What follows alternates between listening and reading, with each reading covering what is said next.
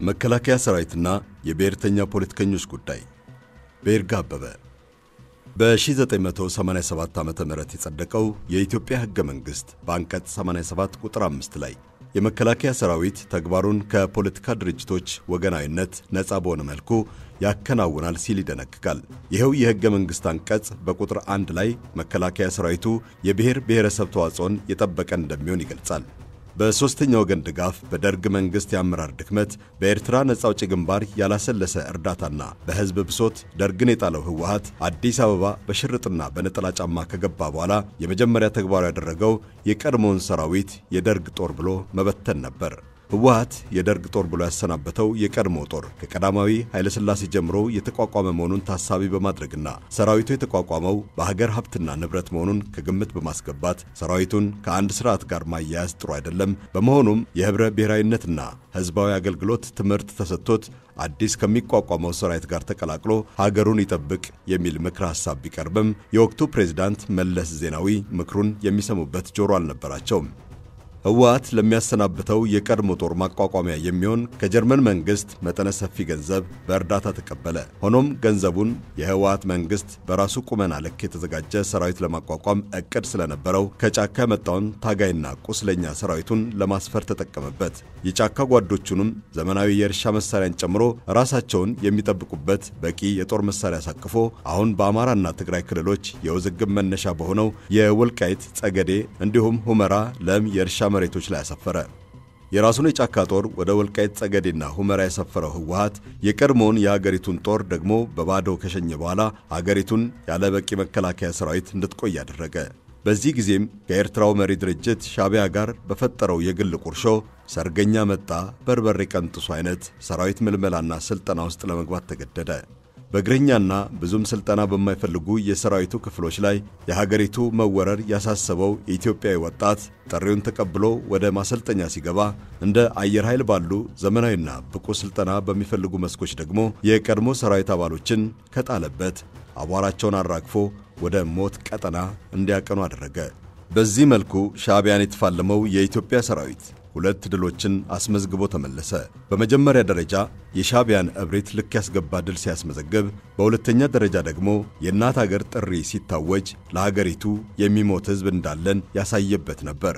ሆኖም ከሰባ እስከ ዘጠና ሺህ የሚገመት ወጣት የሞተበትን ጦርነት የህወሓት መሪዎች አልጀርስ ድረስ ተጉዘው የሰራዊቱን ድል በዜሮ አባሱበት። ድንበር ተወረረ ብሎ ጥሪ ያቀረበው ህወሓት መራሹ ኢህአዴግ ሰራዊቱ ሻዕቢያን ከሸነፈ በኋላ የኢትዮጵያን ታሪካዊ ግዛቶች ሳይቀር ለኤርትራ እንዲፈረድላት ሽንጡን ገትሮ ተከራከረ።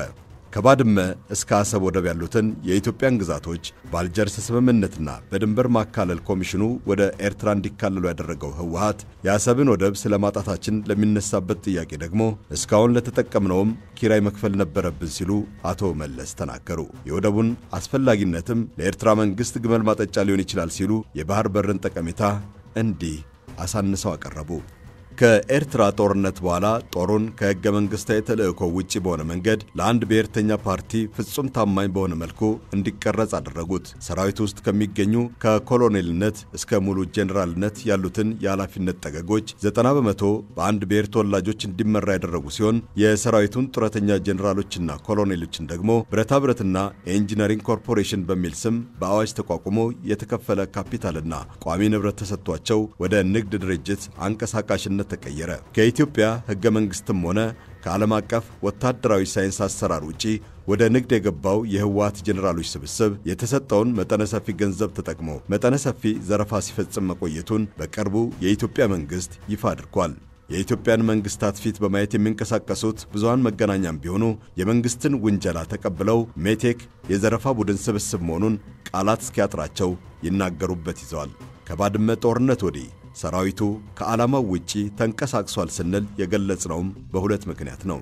የመጀመሪያው የጦሩ አመራሮች በዕድሜ መግፋት ጡረታ እንዲወጡ ተደርጎ በንግድ መስክ መሰማራታቸው ሲሆን፣ ሌላው ምክንያት ደግሞ ሰራዊቱ የአንድ ዘውገኛ ስርዓትን ጠባቂ መሆኑ ነው። ህወሓት የድጋፍ መሰረቱ የህዝብ ስፋት ወይንም constituency መተማመኛ የሚሰጠው ባለመሆኑ የስልጣን መሰረቱን ያሳረፈው ከደህንነት መዋቅሩ በተጨማሪ በመከላከያ ሰራዊቱ ላይ ነው።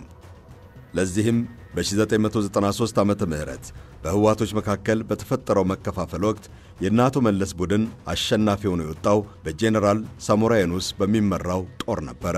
የ1997 ዓመተ ምህረት የህዝብ ሱናሚንም ህወሓት መሻገር የቻለው በመከላከያ ሰራዊቱ አፈሙዝ ነው።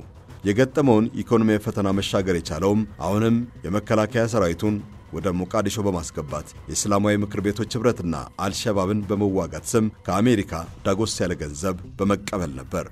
ከሦስቱ አበይት ክስተቶች በተጨማሪም ህወሓት ኢህአዴግ ከአዲስ አበባ ማስተር ፕላንና ከወልቃየት የአማራ ማንነት ጥያቄ ጋር በተያያዘ ለተነሱበት ህዝባዊ ተቃውሞዎች መከላከያ ሰራዊቱን ተጠቅሞ ነበር ለማፈን የሞክረው። በተለይ በ2008 ዓ ም የተነሳውን ህዝባዊ ቁጣ በተመለከተ አቶ ኃይለማርያም ደሳለኝ የጦር ኃይሎች አዛዥ መሆናቸውን ተጠቅመው በመላው አገሪቱ ያለው የጸጥታ ኃይል ሰላም እንዲያስከብር አዝዣለሁ በማለት በሚገዙት ህዝብ ላይ የሞት መልአክ አሰማርተዋል። ይህን የአቶ ኃይለማርያምን ጥያቄ ተከትሎም በአማራና ኦሮሚያ ክልሎች በርካታ ንጹሐን ደመከልብ ሆነው ቀርተዋል። የህዝብ ጥያቄ ስርዓቱን አንፈልግም የሚል ቢሆንም ህወሓት ኢህአዴግ ግን ሕገ መንግሥታዊ ስርዓቱን በኃይል ለመናድ የሚል ስያሜ በመስጠት ነበር ጦሩን ለሥልጣኑ ማስጠበቂያ ያደረገው። ዶክተር አብይ ወደ ሥልጣን ከመጡ በኋላ ግን በመከላከያ ሰራዊቱ ላይ መዋቅራዊ ለውጥ ለማምጣት ሙከራ መደረጉን ጠቅላይ ሚኒስትሩና ሁለቱ የሰራዊቱ ኤታማዦር ሹሞች ተናግረዋል። የአንድ ፓርቲ ጠባቂ መሆኑ ይበቃል ያሉት ጠቅላይ ሚኒስትሩ በጽሕፈት ቤታቸው የሰራዊቱን ከፍተኛ ጄኔራሎች ሰብስበው ስልጠና ሰጥተው ነበር። የኢትዮጵያ ፌዴራላዊ ስርዓት አወቃቀርም ሆነ የገዢው ፓርቲ ኢህአዴግ ግንባር የተፈጠረው ነገድን መሠረት ባደረገ መልኩ ነው። የዘውግ ፌዴራሊዝም ለሀገር አንድነት ስጋት በመሆኑ ከዩጎዝላቪያና ሩሲያ በስተቀር በየትኛውም ዓለም ተተግብሮ አያውቅም። የተገበሩት ሁለቱ ሀገራትም ዶሮ እንደደፋው ስጥ ተበታትነዋል ሲሉ መከራከሪያ ያቀረቡ ምሁራን ጥያቄያቸውን ማሰማት የያዙት ገና ከጅምሩ ነበር። በልዩነት ላይ የተመሠረተ ፌዴራሊዝም ልዩነትን የሚያሰፋ ተግባር ሲያጋጥም መለያየት ወይም መጠራጠርን የሚፈጥር መሆኑ ይታወቃል። የዶክተር አብይን ወደ ሥልጣን መምጣት ተከትሎ ለ27 ዓመታት በብቸኝነት ሲገዛ ሲዘርፍና ሲገርፍ የኖረው የህወሓት ስብስብ ደርግ ወደ ዚምባብዌ ፈረጠጠ ሲል በተሳለቀበት አንደበቱ ራሱ ወደ መቀሌ መፈርጠጡ ይታወቃል። እስካሁንም መቀሌን መዋያ ማደሪያና ማምለጫ ምሽግ አድርጎ የተቀመጠው ይህ ስብስብ በመላ ሀገሪቱ የብሔር ግጭት እንዲቀሰቀስ ያለ እረፍት እየሠራ መሆኑን የኢትዮጵያ መንግሥት ይናገራል። ከመቀሌ እስከ ሞያሌ በተዘረጋው የዚህ አምባገነን ስብስብ ኔትወርክ የተነሳ በጅጅጋ፣ አሶሳ፣ ሐዋሳ፣ ቡራዩ፣ ወላይታ ሶዶ፣ አርባ ምንጭ፣ ጋምቤላ፣ ሰመራ፣ አዲስ አበባና ሌሎች ከተሞች ላይ ግጭት እንዲፈጠር ማድረጉ የሚታወስ ሲሆን ግጭት የተፈጠረባቸውን አካባቢዎችም ለማረጋጋት ሀገር ዋጋ ከፍላለች። በኢትዮጵያና በኤርትራ መካከል ለ20 ዓመታት ተዘርግቶ የቆየው የጥል መጋረጃ መቀደዱን ተከትሎ በኤርትራ አዋሳኝ ድንበር የነበረው ጦር ወደ መሃል አገር እንዲንቀሳቀስ መንግሥት ውሳኔ አሳለፈ። ሆኖም የትግራይ ክልል ወጣቶች ጦሩን ወደ መሃል አገር ላለማሳለፍ በደቦ ወጥተው ተሽከርካሪዎቹን ከበቧቸው። ጦሩን ከትግራይ እናስወጣም ከሚለው የሽሬ ከተማ ወጣቶች የደቦ አድማ በተጨማሪም በአማራ ክልል ምዕራብ ጎንደር ዞን በመንገድ ሥራ ላይ የነበረውን የሱር ኮንስትራክሽንን ተሽከርካሪ ሳንፈትሽ ከቦታው አናስወጣም በሚል ለአድማ በወጡ ወጣቶችና በመከላከያ መካከል ግጭት ተፈጠረ። በሁለቱም ክልሎች አድማና የደቦ ተቃውሞ የተጋረጠበት መከላከያ ሰራዊት ትግራይ ላይ በዝምታ ቢያልፍም ምዕራብ ጎንደር ላይ ለተከፈተበት ተቃውሞ ምላሽ የፍልሚያ ቃታ ስቦ ሕፃናትና ሴቶችን ጨምሮ ሁለት digit ያለው ሰው ከሕያዋን መዝገብ ሰረዘ። ጥያቄው በምዕራብ ጎንደር መከላከያው ሲተኩስ በትግራይ ዝምታን መምረጡ አይደለም። ዋናውና ለውይይት መቅረብ ያለበት ነጥብ በሁለቱ ነገዶች መካከል መከላከያው ላይ ተቃውሞ ሊነሳ የቻለበት መንገድ ነው። ከደቦ አድማው ጀርባ ማን አለ? ለምን ዓላማ? የሚሉት ሁለት ወሳኝ ጥያቄዎች መልስ የሚሹ ናቸው። አንደኛው የዓለም ጦርነት የተጠናቀቀው የዛሬ 100 ዓመት ነበር። ጦርነቱ ለአምስት ዓመታት ተካሂዶ 17 ሚሊዮን ሰዎችን ጭዳ አድርጎ ከበላ በኋላ ነበር ፍጻሜ ያገኘው። ያን ያክል ሕዝብ ያለቀበት ጦርነት መነሻ ምን ሊሆን ይችላል በማለት መንስኤው ላይ ትኩረት ያደረገ ጥናት ተካሂዶ ነበር። አሜሪካዊው የታሪክ ተመራማሪ ማርቲን ኬለር ለጦርነቱ አምስት መሠረታዊያን ምክንያቶች በማለት የችግሩን መነሻ አስቀምጠዋል። ምሁሩ ይፋ ካደረጓቸው የጦርነቱ መንስኤዎች መካከል ሁለቱም ብቻ ለማየት ብንሞክር በዚህ ዘመን ለኢትዮጵያ ስጋት አመላካች ሆነው እናገኛቸዋለን። አክራሪ ብሔርተኝነትና የጋራ የጦር ጥምረት የሚሉ ነጥቦችን ቀደም ሲል በዚህ ጽሑፍ መግቢያ ላይ እንደገለጽኩት በኢትዮጵያ የተቋቋመው መንግስትም ሆነ የፌዴራል ስርዓቱ የቆመው ነገድን መሰረት አድርጎ ነው። ነገድን መሰረት አድርጎ የቆመ ስርዓት ደግሞ በነገዶች መካከል የፖለቲካ ነጋዴዎች ሲፈጠሩ ልዩነት እየሰፋ መሄዱ አይቀርም። ልክ የመጀመሪያው የዓለም ጦርነት እንደተነሳው ሁሉ አሁንም በኢትዮጵያ የአክራሪ ብሔረተኞች ጠርዝ የነካ ልዩነትን መሰረት ያደረገ የቃላት ጦርነት ወደ ቃታ መማዘዝ እንዳያመራ የሚከለክለው አንዳች ኃይል ያለ አይመስልም። የህወሓት አንጋፋ መሪዎች ቀለባቸውንም ቀልባቸውንም መቀሌ ላይ ሰብስበው ሲቀመጡ ነገድ ላይ መሰረት ያደረጉ የፖለቲካ ነጋዴዎችን ለዓላማቸው መሳካት ሳይጠቀሙባቸው እንደማይቀር ይገምታል።